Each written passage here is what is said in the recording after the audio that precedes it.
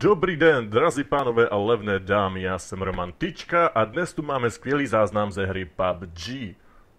Téma dnešní hry je milostný trojuhelník, nebo také David proti Goliášovi, silnější proti slabšímu a na konci určitě pochopíte proč. Letadlo už letí a taxi CZ alias Bajty si právě vybírá své místo. Neví přesně kam, přeci jen nechce zemřít mladý, doma na ně čeká mladá a krásná lednice a tři dezerty.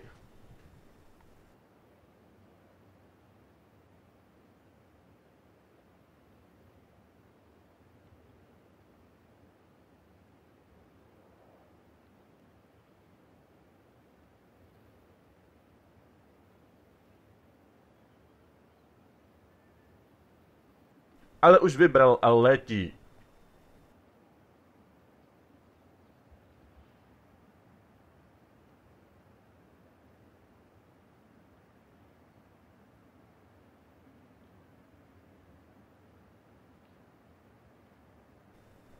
Když se podíváme z dálky, tak vidíme, že nepadá sám. Padá s ním také HHPP-11, ke kterému se hned dostaneme.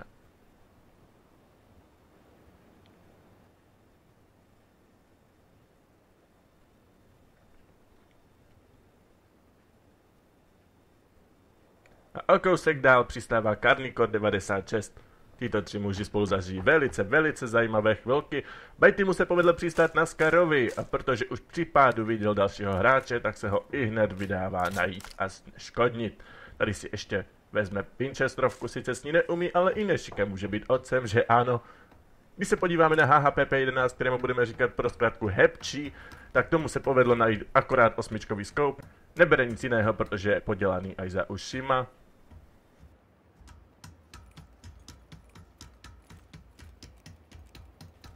A v tuhle chvíli už ho Bajty vidí a vydává se po něm.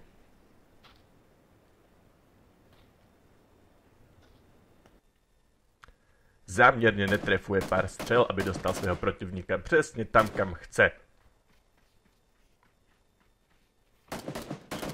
A už má svoji kořist jako predátor. Predátor, co propadl ze školky. Tady se na celou situaci podíváme znovu.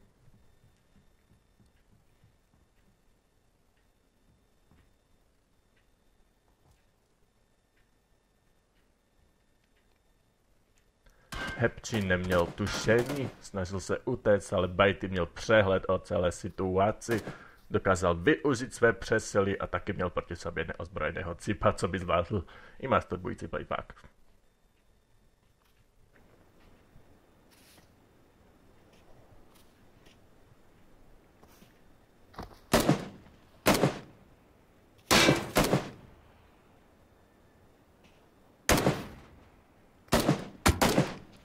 Tady však Bajty dělá svoji první chybu. Nevylutoval Hepčíka, protože se domníval, že nic nemá, ovšem jak my víme, přišel o osmičkový skoup, který by se mu na skarku velice hodil, především za malou chvíli. Bajty bere ruksak, sice jedničku, ale aspoň nebude muset tahat náboje v těch těsných kapsičkách. A tady vidíme zárodek dalšího souboje, oba hráči o sobě nemají zatím žádné tušení.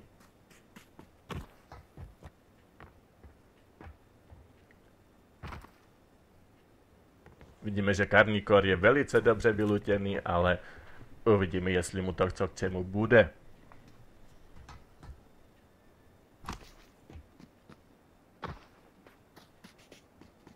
Pojďte se rozlíží jako, jako puma na lovu.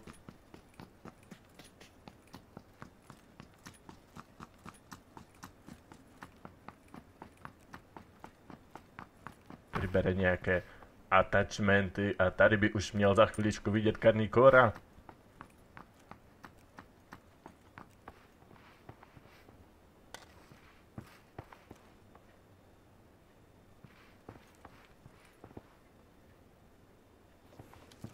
Ano, už ho vidí a tak se na ní pomalu míří, čeká, až bude mít čistou střelu.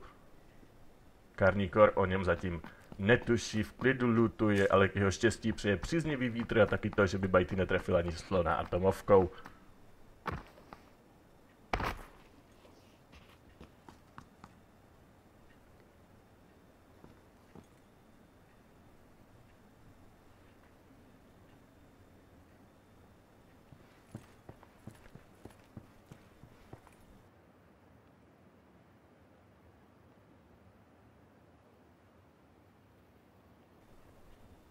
Karníkor o něm pořád nemá tušení a tady už Bajty zkouší svoji střelu, ale míjí a už nevidí nepřítelné.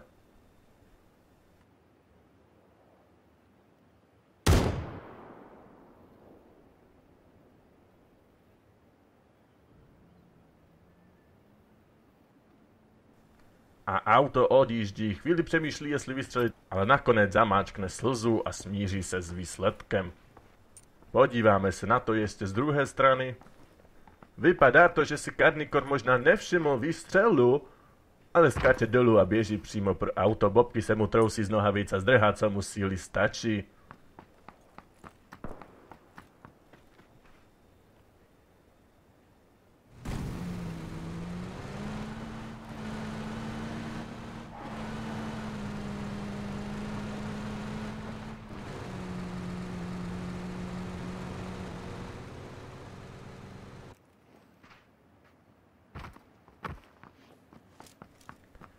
Bajty už dál lutuje, měl by mít celé místo jen pro sebe, to je skvělá strategická pozice pro začátek zápasu, spousta lutu, uvidíme, jak se s tím vypořádá.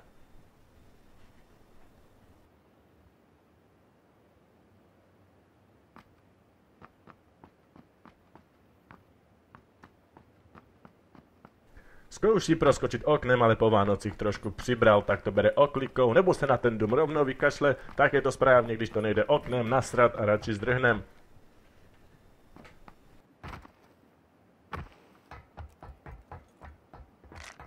Nějaký heal a další náboje, zatím se Bajty mu daří najít slušný loot.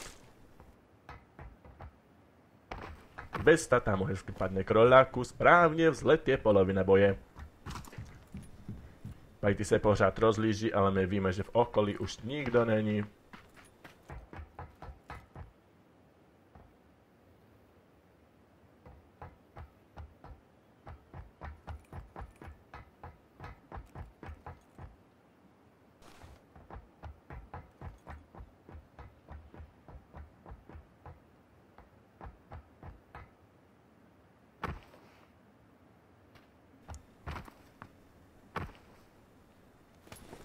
Dvojkový batoh, ale zatím žádný scope. To je asi poslední věc, kterou Bajty v tuhle chvíli hledá.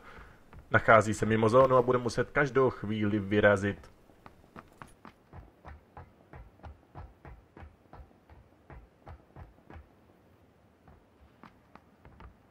Když se podíváme na mapu, tak vidíme, že není tak daleko, ale přesto je lepší mít náskok. Na této mapě si především zapamatujte tři jména. 39, 5247 a Louis Taylor. Ti budou důležití až za chviličku.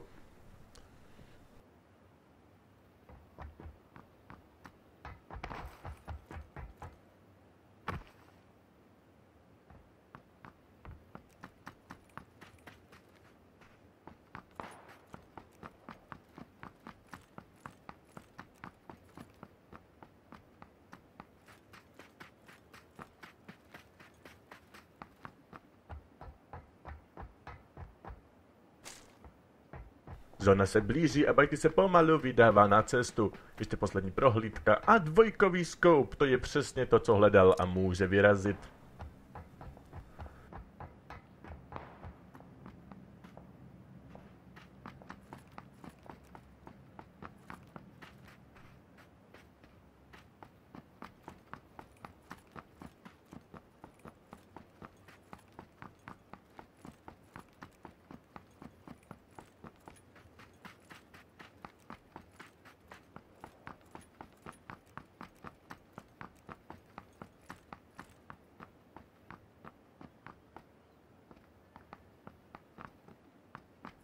Tady si trošičku protahuje svaly, aby nedostal křeč všeobecně dobré před dlouhým během.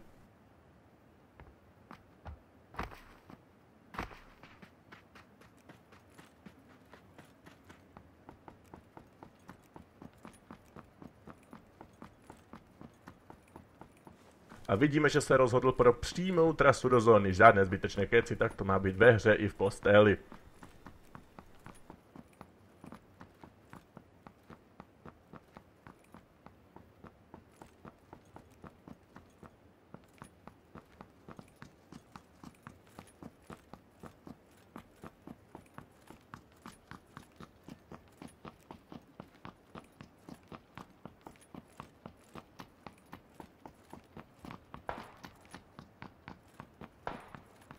A tady už vidíme, jak se blíží k hráči 3952. Nástroj budeme mu říkat 39. Zatím o sobě neví. A tady proběhl první výstřel. Podíváme se, kdo to byl. Yuhuan Huan, přítel z Číny, zavítal takovou dálku, aby se netrefil. Bajty slyšel výstřel, ale naštěstí je za horizontem.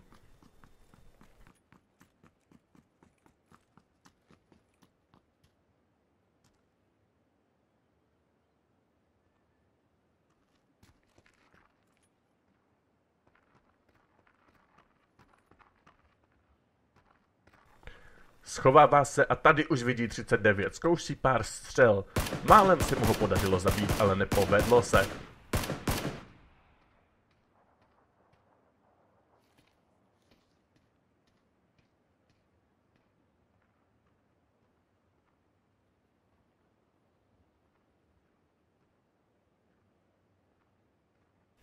Třicet devítka se healuje, Bajty zkouší dalších pár střel a tady se blíží něco, čemu my říkáme medvědí pěst. BAM! Jako facka od medvěda.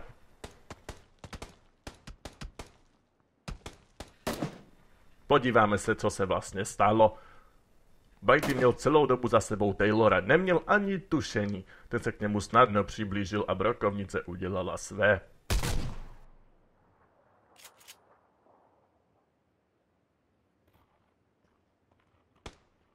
Ale tady vidíme, že Taylor udělal chybu a 39 ho okamžitě potrestala.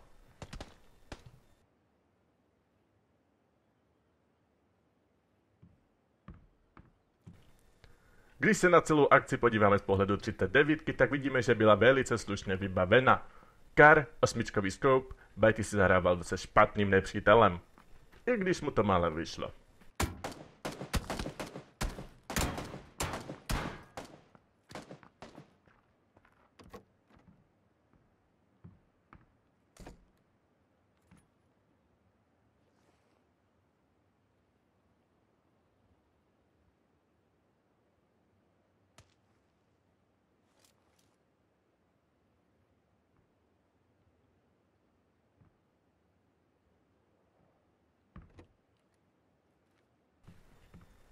Tady vidíme, jak málo zbývalo, ale 39 byla celou dobu ve výhodě, zkoušela Bajty ho dostat, ale tady už viděla Taylora. A tak si počkala a postarala se o zbytek. Nádherná hra.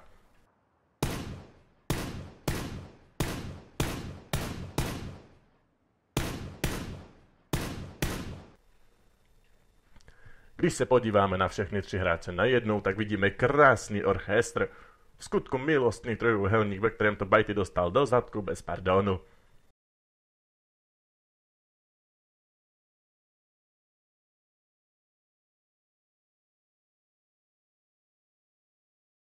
Takže si dávejte pozor na záda a pokud uvidíte 39 a řeknete si tu zbalím, tak radši běžte domů, jinak vás zezadu čeká nemilé překvapení.